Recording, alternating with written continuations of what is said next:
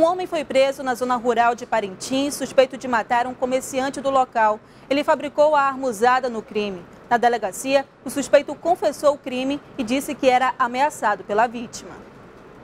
Na delegacia, o suspeito confessou o crime e ainda tirou sarro da situação. João Anderson Farias Miranda fabricou uma arma caseira de calibre 36. Depois de matar o comerciante, João Anderson Farias Miranda fugiu para uma área de mata e só foi preso quando voltou para a casa dele. Ele estava dormindo quando a polícia o surpreendeu. Fomos até a residência dele, estava dormindo no momento, se entregou na, sem, sem qualquer resistência na boa, nos confessou que estava sendo ameaçado pela, pela vítima lá. Segundo ele, essa vítima já teria deflagrado alguns tiros atrás dele. Mairo Almeida da Silva tinha 30 anos e foi assassinado enquanto atendia clientes no comércio dele. A vítima levou um tiro nas costas que perfurou o pulmão e o coração. Ele morreu na hora. Em depoimento, o acusado disse que recebia ameaças. Falei que o dia que eu tivesse para fazer ele, eu ia, justamente porque antes de ele fazer ele mesmo, eu fiz ele. O crime foi na comunidade do Bom Socorro, região rural de Parintins. Este foi o terceiro homicídio que aconteceu em Parintins em menos de uma semana. Um número preocupante para a região. Os vereadores de Manaus elegeram hoje os novos membros da mesa diretora para os próximos dois anos. Pela primeira vez, não houve disputa pelos cargos. Eles foram definidos por aclamação. Nem mesmo essa é a nova mesa diretora da Câmara Municipal dos Vereadores. Ela foi definida nessa segunda. O vereador Joelson Silva, que é o atual líder do prefeito na casa, foi o escolhido para comandar o executivo pelos próximos dois anos. Agora, administrar de forma que eu possa ouvir também os colegas, as sugestões, né, as ideias que os colegas têm, a valorização do servidor. Nós queremos muito aproximar as comissões que nós temos aqui da população. Irane Colau, Fred Mota e professor Samuel foram os escolhidos para o cargo de primeiro, segundo e terceiro vice-presidente. As outras seis vagas da mesa também foram escolhidas por aclamação. Essa foi a primeira eleição da mesa diretora da Câmara Municipal onde não houve concorrência para nenhum dos cargos. Todas as vagas haviam apenas um candidato, que foi eleito por unanimidade de votos.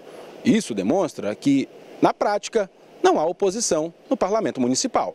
Joel, o era um homem de consenso. Quando eu fui presidente reeleito, trabalhei para ele ser o presidente da comissão do CCJ, ou seja, eu não posso me no direito de boicotar a minha cidade.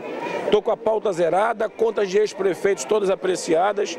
Nós vamos por, não temos um requerimento a ser apreciado, ou seja, eu acho que as questões políticas, elas precisam ser secundárias quando os interesses da cidade prevalecem. Segundo a assessoria da Câmara, os membros da mesa diretora não recebem mais nenhuma gratificação.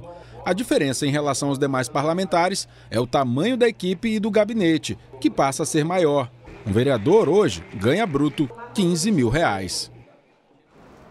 A Polícia Militar lançou hoje um aplicativo de celular que promete recuperar motos e carros roubados ou furtados na capital. A nova ferramenta será de uso exclusivo da polícia.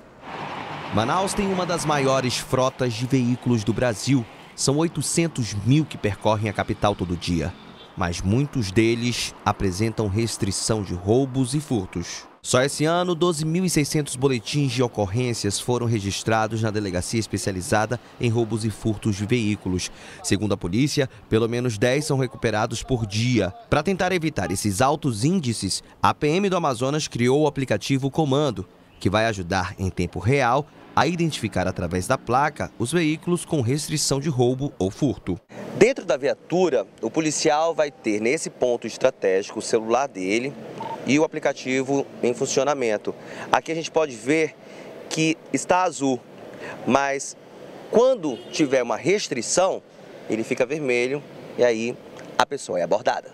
Nós temos que abordar quem, é necess... quem necessita ser abordado e não o cidadão comum que está transitando com a sua família.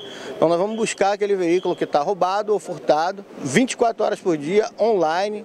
O aplicativo estava em fase de testes desde agosto, mas hoje começou a operar tanto em viaturas de patrulhamento pela cidade quanto em pontos estratégicos da capital. Nós sabemos que o policial militar, sabendo das que o veículo está em restrição, um veículo que foi furtado ou roubado, né, ele já vai ter mais cautela, né, vai aumentar a questão da segurança na hora da abordagem. No primeiro dia, Motos e carros já foram apreendidos. A população gostou da ideia. É uma boa iniciativa, né? Até é uma forma mais de a polícia chegar mais rápido a, a um veículo roubado. Né? Nunca passei por isso não, mas eu acho que, que vale a pena. Ajuda.